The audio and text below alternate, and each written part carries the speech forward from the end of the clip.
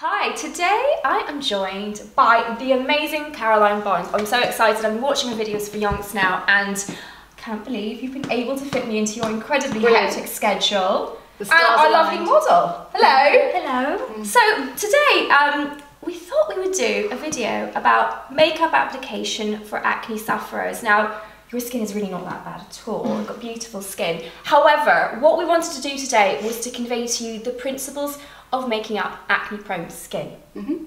Yeah? And they are, whatever products you use, they all works the same. So if you follow the same techniques, whatever you're using, you'll get the same effects. But it's basically being able to cover your skin so what you don't want to be seen is not seen and then the rest of your skin looks really glowy. Exactly. Rather than thinking, oh, I've got a few blemishes, so I'm going to cover my whole face in makeup, give myself a very flat, made up look, which is obviously in turn, as you well know, therefore damages your skin long term. So it's just literally covering those areas you need to and treating your skin that's fresh and gorgeous, which it is. Exactly. I think that's so true. Even someone who has quite active acne, if you actually work it out, there's usually about 70 80% of the skin that's completely mm. fine. So you start attacking it with products that are super high coverage all over, it actually creates the illusion there is something you're trying to hide. Yeah. So I'm going to let you crack on. Okay, great. So first of all, we want to eliminate the redness. So obviously you'll be using concealer to eliminate the redness, but one little key step that you can do to make that a little bit less high coverage in terms of the product you're using is to use a colour corrector. Now green, a green tone, is a wonderful shade to use just over any redness. I'm going to be using a product here. I'm going to use it applied from a brush and just gently apply over the red areas of the skin. You only need a small amount and as you can see, it just lifts and takes away the angry colour of the skin. You're actually the person who got me back doing a bit of green colour correcting, Caroline. Honestly, I haven't used one of these sorts of products since my teens. They were too scary. But modern colour correctors are a completely different animal, aren't they? Absolutely. The textures are so much better, um, much more refined. They don't move so much, and I actually prefer to use a colour corrector that um, is in a solid form, so I can be more bespoke about where I apply it. If you use it in a liquid form, it tends to travel over the skin too much, Yeah. and then you get too much of a green glow. Whereas this is specific for that red area. Shrek is not sexy. I've actually used this in a chap in clinic. Quite Really? interesting. Yeah, you know, guys have far fewer options, don't they, when it comes to redness in their skin? They feel really self-conscious. So Absolutely, it doesn't read as makeup. Exactly. So this is a perfect start. So already you feel like you're onto a win. There's less for you to kind of conceal, there's less product for you to put on. Now, the first rule of covering a complexion that's got a few little blemishes or a lot of blemishes is to look at the beautiful part of where your skin glows and looks really clear. Now, just use a really light foundation, a little bit of a glow in it, and apply it with a big foundation brush like this. Start from the T-zone and just apply the base as you would do normally, ignoring all those areas that are upsetting you, causing you any annoyance. The reason is, is we just want to really conceal the areas that need to be covered and we want to leave the rest of the skin glowing. So when someone looks at you or when you look at yourself in the mirror, what you see in the reflection is a really lovely perfected skin but that looks fresh. You don't want to have a mask of heavy foundation because you've got a few imperfections around your chin or cheek. It's so important, isn't it? Especially in adult women with acne, where actually the trouble zones are really quite localized and limited. The last thing you want, as you say, is this heavy coverage that suggests there's something to hide. Absolutely. It's also a question of time, though, isn't it? A lot of women like high coverage products because they apply them very quickly in the morning, but I really do encourage my patients to take the time to do that more localized pinpoint concealing and keep the coverage light. It is worth it, isn't it? Yeah, it looks much more modern for a start. So Yeah. you can wear your, a great colour on your lip, or you can wear a great eyeliner flick. As Fiona was to take it down, didn't we? Um, so you're keeping the skin looking modern and fresh, and that's the key part. So if you've got a few little blemishes, it doesn't matter. They can be perfected, but your skin can look modern and fresh, not like a mask. Yeah. So it's already starting to look really polished. So very, very light. together. That was just a real suede the foundation, really, really light and glossy. Now, it does seem quite complicated. I do and will be using up to five brushes in my hand here. So the first one here is the foundation brush to create that really lovely light glow of foundation. Now I'm going to use a reflective concealer. Now a light reflecting concealer is key to use underneath the eyes. So where you've got the bluey grey area of your eyes, here and here, You don't want to use an opaque concealer, which you will use to cover um, any blemishes or pigmentation, etc. So it's a different consistency. Yeah, it's really important, isn't it? And especially in older skin as well, the tendency for a sort of higher coverage product to settle into lines. Oh, yes. Hard to work with, isn't it? Totally ages the skin.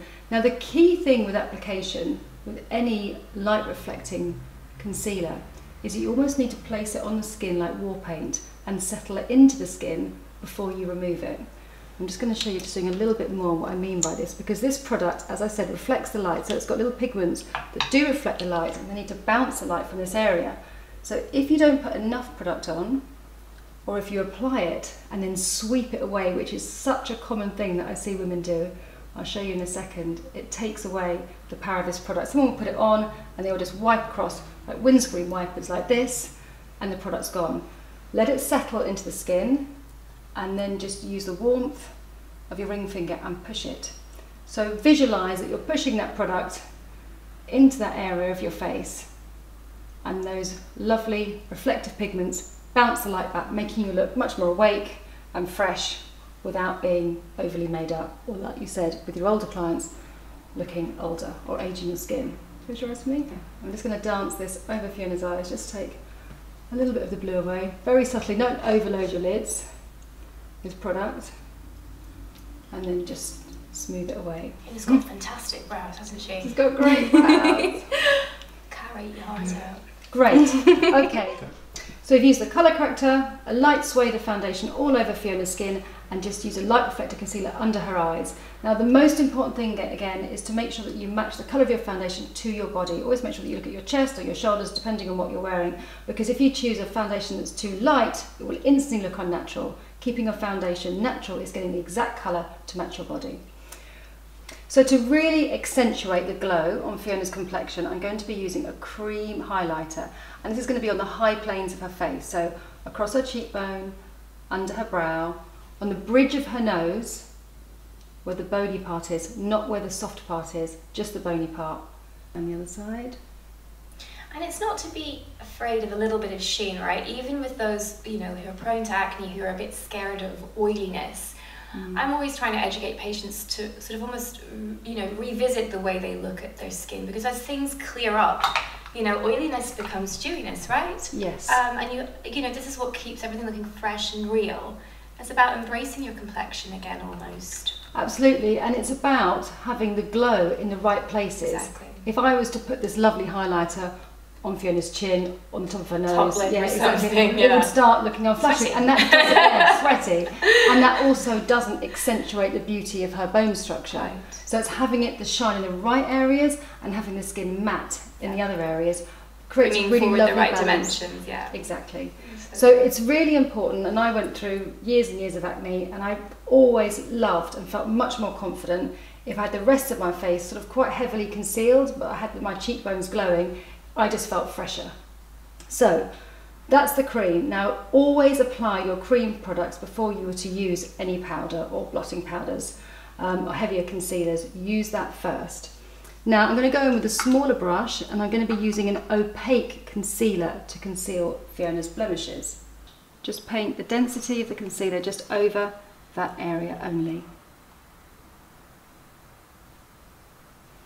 I'm using a shade that's a couple of tones lighter than Fiona's skin and the foundation that I use, just because if you are covering something that's darker than your skin tone, if you use the same shade, it will almost appear like a little bit of a shadow under the skin and look a little bit grey. Once you've applied that, then just use your ring finger very gently, just the warmth of your ring finger, just to buff the edges away. So you keep the density of the product over the entire spot, but in the other areas, it's just buffed away if you had something really humongous, Caroline, would you go back in with a second layer? Absolutely. If you have a really big sore spot, a classic premenstrual yeah. lump that happens just below the corner of the mouth, you know what I mean? And start with the concealer and then just layer, layer, layer, layer, layer. Creating fine layers of concealer will really give you better longevity with your coverage throughout the day rather than just going in with a really heavy trowel of makeup. So just build up your coverage very gently. Try and do it in daylight or use a mirror that has lights around it so you can see it. And just use a very small brush very delicately and just again press over just to blend into the rest of your base. The lighting is so important, that's a really good point. Yeah, the lighting is really key. Never look at yourself with a light that's coming from one side because it will really emphasize all the lumps and bumps in your skin. Always look towards daylight when you're putting your makeup on. It will look much more beautiful. You'll see the effects of the makeup much better. So it's really important to set the products that you've put on your skin. So on Fiona's face, I'm going to be pressing this blotting paper just into the areas that I've concealed. And the areas that I don't want her to shine on her face are obviously the T-zone areas. So it's between the brow either side of the nose and just that area, the problem area around the chin. I'm so glad to see you're a fan of blotting papers. I mean, I really do recommend patients carrying those around with them, as well as having some product to touch up through the day. I know I've put a ban on powder for a lot of people and it doesn't necessarily suit the way they're used to making up, but I just find that if you have product you can use on the go, maybe use one of those portable under eye concealer pens, and carry around a little pot of concealer. I just think it looks fresh. Caroline, you've done an amazing job. She looks fresh, natural. I can't see a thing. I don't even know she has a problem with blemishes at all. And you've just embraced what's good about her complexion in a way that I imagine makes you feel quite confident. Definitely. Yeah, so thank you for doing that, using my principles with your amazing handiwork. Um, I think it's important to give that message. You can cover acne and keep your complexion looking fresh, real and natural. Thank you very much. My pleasure.